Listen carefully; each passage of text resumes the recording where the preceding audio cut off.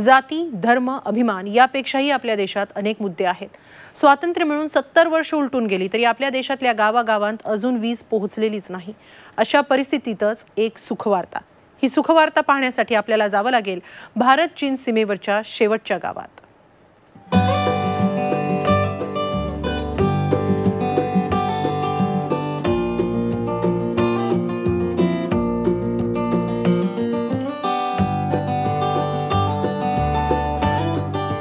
भारत चीन सीमेवरचं शेवटचं गाव डेमचौक.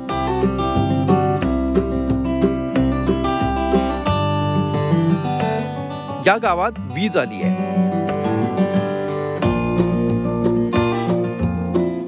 डेमचौकच्या लोकांनी आतापर्यंत हा प्रकाश कधी पाहिलाच नव्हता.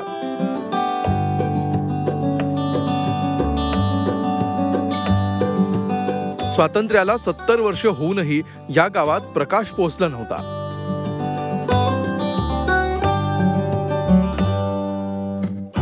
आता डेमचौक मध्ये हा प्रकाश पोहोचलाय तोही सौर ऊर्जेच्या माध्यमातून. यहाँ पर सोलर पैनल लगाए गए जिसके ज़रिए इस पूरे इलाके में बिजली को लाया जा सके। और आप देख सकते हैं कि यहाँ खंभे आपको दूर दूर तक दिखेंगे। ये अ, सोलर पैनल के ज़रिए जो बिजली यहाँ पर पैदा हो रही है उसको डिस्ट्रीब्यूट किया जा रहा है और गाँव तक। हिमालयाच्या कुशीत वसलेलं लेह सगळ्या बाजूंनी बर्फानं वेढलेले रस्ते. दिवसाचं तापमान शून्य अंश सेल्सिअस. तर रात्रीचं तापमान उणे पंधरा ते उणे तीस. लेहपासून जवळपास दोनशे चाळीस किलोमीटरवरचं हे डेमचॉप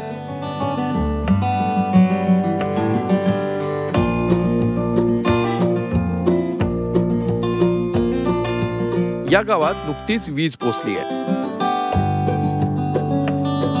इतक्या वर्षांनी गावात सुरू झालेलं हे प्रकाश पर्व अनुभवण्यासाठी आम्ही डेमचौकला जायचं ठरवलं.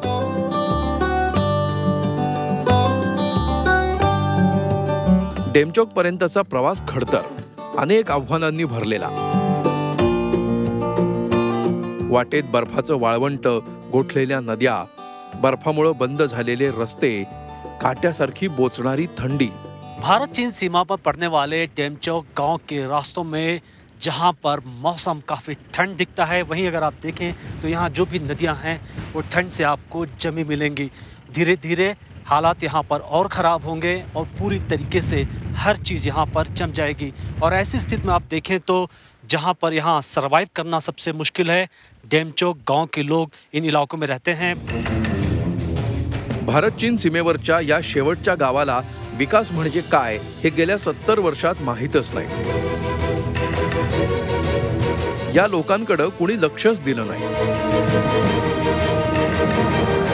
पण आता या गावात पोहोचलेली वीज डेमचौकसाठी आशेचा नवा किरण घेऊन आली आहे.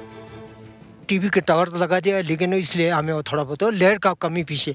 अब लाइट धीरे धीरे कुछ ना कुछ अच्छी हो जाएगी तो हमारा थोड़ा बहुत फर्क होता है। मोठमोठाले पर्वत आणि दुर्गम भागामुळं इथं वीज पोहोचवणं कठीण काम होतं. पण आता सौर ऊर्जेच्या माध्यमातून इथं वीज निर्मिती केली जाते. मुश्किल है क्योंकि ये इलाके ऐसे हैं जहाँ पे एक तो अ, मौसम भी साथ नहीं देता मौसम जो है एकदम से जो टेम्परेचर है का वेरी करता है। माइनस टू से लेके माइनस ट्वेंटी माइनस थर्टी तक चले जाता है टेम्परेचर और यहाँ पे एकदम से बिजली बचाना है तो उसके सबसे बेस्ट सोर्स है ये सोलर है यहाँ पे। गावात वीज पोहोचली आहे पण अजून गावात बरेच प्रश्न आहेत. इतर गावांशी संपर्कासाठी रस्ते नाहीत. मुलांसाठी शाळा नाहीत. पण समोरच पाच पावलांवर दिसणाऱ्या चीनच्या हद्दीत सगळ्या सुविधा आहेत. चीननं अगदी मोबाईल टॉवर्सही उभारलेत. त्या मानानं आपलं डेमचौक खरंच मागास आहे. चाइना वाला जो है 2007 से अभी तक 2014 तक उसने पूरा डेवलपमेंट किया है. डेवलपमेंट है। इस। पहाड़ के पार क्या क्या क्या चाइना की तरफ क्या क्या है? किस तरह की चीज आप देखते हैं डेवलपमेंट दो हजार ग्यारह से बनाया सर दो दो कमरा मंजिल का कमरा बनाया। तो उसमें कोई ऑब्जेक्शन अपना इंडियन का तरफ़ से भी नहीं हुआ सर तो चाइना बनाती किया 2014 में उसने ब्लैक टॉप रोड किया। 2014 में उन लोग ने मोबाइल टावर लगाया। यहाँ आर्मी वाले ने ऊपी लगा दिया। वहाँ पता नहीं पहाड़ी में क्या क्या लगा दिया, ऐसी चीज़ लगा हुआ है। तो हम लोग को यहाँ बैठने के लिए भी बहुत मुश्किल है सर डेमचौक पासून साडेतीनशे किलोमीटरवर निमो बाजगो धरण आहे. या धरणातून तयार होणारी वीज आसपासच्या गावांना मिळते. डिझेल जनरेटरच्या मदतीनं वीज गावांमध्ये जायची. पण दिवसातून दोन ते तीन तासच वीज उपलब्ध व्हायची. पण आता सौर ऊर्जेच्या मदतीनं डेमचौक सारख्या शेवटच्या गावातही वीज उपलब्ध करून देणं शक्य ये एक बहुत ही क्लाइमेटिक एडवर्स कंडीशन है यहाँ पे, जो कि छः महीने रास्ता बंद रहता है, सामान नहीं पहुँच पाता है, फिर आपका जो तबीयत ख़राब हो जाता है six month all work outside work बंद हो जाता है तो उसके परिस्थिति में भी एनएसपीसी बहुत मेहनत से और लगन से काम किया है। और जो लास्ट गांव है वहाँ पे भी आरी का काम किया है रूरल इलेक्ट्रिफिकेशन का। याच डेमचौकमध्ये काही वर्षांपूर्वी सिंचनाचा एक प्रकल्प हाती घेण्यात आला होता. पण चीनच्या सैनिकांनी घुसखोरी करत ते काम हाणून पाडलं. डेमचौकवर चीनचा दाव आहे. या भागात भारत सरकार विकास कामं करू शकत नाही असं सांगत चीन सतत इथल्या विकास कामात अडथळा आणतं.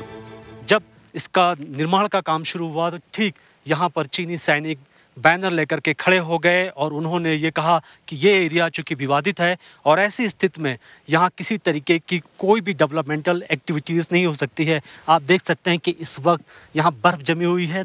तो किसी तरीके से इस कैनाल का जो निर्माण का काम है, वो पूरा कर लिया गया, लेकिन चीनी सैनिकों की तरफ़ से यहाँ पर लगातार चुनौतियाँ मिलती रहती हैं। एकोणीसशे बासष्टच्या भारत चीन युद्धात चीनी सैनिकांनी डेमचौकवर हल्ला चढवला होता. त्यावेळी डेमचौकच्या स्थानिकांनी जोरदार प्रतिकार केला. काही काळातच चिनी सैनिकांनी हा भाग सोडून पळ काढला. पण आजही चीनची वाकडी नजर डेमचौकवर आहे. गेल्या दोन महिन्यात चीननं या भागात किमान पस्तीस वेळा घुसखोरी केली आहे. डेमचौक भारत चीन सीमा का आखिरी गाँव है। आप ये भी कह सकते हैं कि भारत चीन सीमा पर देश का पहला डेमचौक गाँव है। डेमचौक के बारे में आपने काफ़ी सुना होगा, क्योंकि ये जो इलाका है, यहाँ पर अक्सर जो चीनी सैनिक हैं, घुसपैठ करते हैं। आप देख सकते हैं कि सामने अगर आपको जो टावर दिख रहे होंगे, वो चीनी सैनिक हैं। यहाँ बड़ी संख्या में आईटीबीपी और इंडियन आर्मी के जवान तैनात हैं। चीनच्या या तमाम कुरापती दुर्गम भागात निसर्गाचं आव्हान एवढी प्रतिकूल परिस्थिती असतानाही डेमचौकमध्ये वीज पोहोचणं हे कौतुकास्पद आहे. या निमित्तानं नवी आशा भारताच्या शेवटच्या टोकापर्यंत पोहोचली आहे. Manish Shukla Zee media Demchok.